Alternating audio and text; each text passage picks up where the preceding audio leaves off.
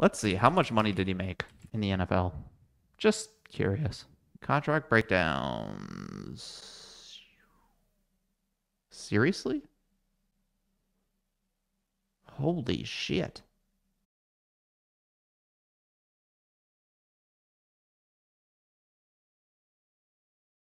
I just want to briefly talk about this whole Colin Kaepernick situation. But in this documentary, this is absolutely insane to me. Colin Kaepernick compares the NFL draft to slavery, which is weird. Very weird. Before they put you on the field, team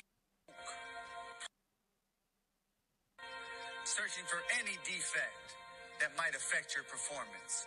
No boundary respected. No dignity left intact. Okay, and then if you can't see this, there's a bunch of guys who are getting checked out at the combine with their shirts off. And then they walk out of the combine and into a graphic of them with chains on them being auctioned off as slaves. Colin Kaepernick actually fucking went there, dude. He actually made that comparison. The insane thing to me about Kaepernick comparing the NFL draft to slavery, if he truly believed this, which he doesn't, he doesn't believe that. Because not too long ago, in fact, two years ago, Colin Kaepernick tried to get back into the NFL. He had an open workout in Atlanta to try and get back onto a team. Here it is.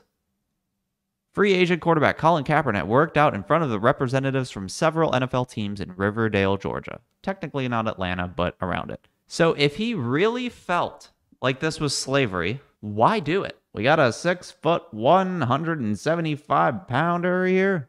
Like, if you're going to make that comparison, why would you do it yourself? That's where he totally fucked himself here.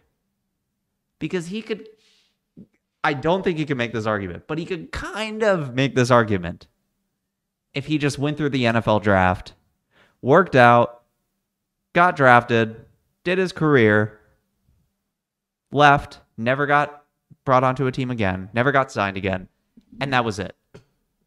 He could be like, oh my God, my eyes were open to this reality. The problem is, two years ago, he did that himself. It's not like, you know, you were coming out of college and they're like, hey, dude, if you want to get drafted, you got to go through the combine. That's just how the system works. He did his own combine. That whole process where they measure you up, they break you down into a bunch of stats, bunch of figures, a bunch of numbers, and then they see who wants to sign you. He did that himself. He held an open workout in Riverdale, Georgia to do exactly that. Why? Because for some reason, Colin wanted to be a slave again? Your argument completely falls apart, dude. You can't make this argument. Not only are you saying the process mimics slavery, but you're saying once you're in the NFL, it's also slavery too, and you wanted to do both? Out of all the things you could have done with your life after you you were out of the NFL for years, you thought, "You know what? I'm going to hold my own open workout, invite those masters to my workout so that they can sign me and pay me millions of dollars to be a slave. Sorry, bud. That's not how this shit works. You yourself did your own version of this. Do you realize that? You're comparing the combine to this. And you yourself voluntarily held your own version of this. You can't call the NFL slavery. Did nobody who directed this documentary do five minutes of research to be like, hey, Colin, so uh, today's Thursday, right? Yeah, yeah, yeah. So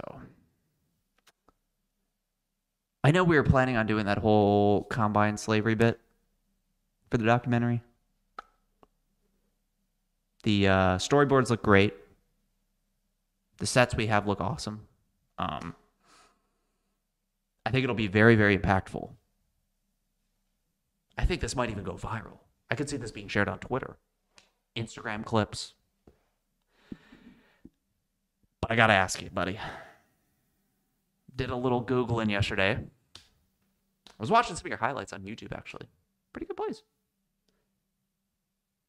But I noticed two years ago, you held an open workout to get in the NFL. You mind explaining that? That's all it would have taken. Then somebody on the set of this show might have been like, "Mm, I don't think we have the best argument here, dude. Maybe let's come up with a different angle. We got like 10 minutes to fill. Everybody else who's called the NFL slaves or slave owners, they left the NFL and they never got back in. Now you could say they're bitter, but you could also say they opened their eyes. They became woke. They realized the system they were in, but they're like, dude, you try to get back in. Two years ago. Two years ago, you were trying to get back into the NFL. How are we going to address that? We got to have our bases covered here. Nobody said that. Let's see. How much money did he make in the NFL? Just curious. Contract breakdowns. Seriously? Holy shit. No. That can't be right. Hold on. I got to double check my numbers here. Okay, it's right. Jesus. Dude. So, originally signed to a four year, $5 million contract, two and a quarter million signing bonus. And then in 2014 to 2017, when he was re signed, six year, $114 million contract with a 12.3 signing bonus. 12.9 guaranteed at signing. So let's just assume he only has guaranteed money, total guaranteed. So 3.8 and 61 million guaranteed. So he has basically 65 million dollars in guaranteed money. That's a fucking boatload of cash, dude. No wonder he was trying to get back in the NFL. I would too. Just guaranteed money, you made 65 million. Yeah, I'd be trying to get back there too. I'd be like, bro, I'll kick balls. I'll fucking play special team. Like, I'll snap me the ball. I'll just hold that shit. 65 million. Fuck, dude. That's why I can't take this guy seriously. Held his own open workout, made boatloads of cash, and then once he finally realized, man, that's just not happening. I'm not getting back into the NFL. He's like, I know. I'll call them slave owners. Let's do that.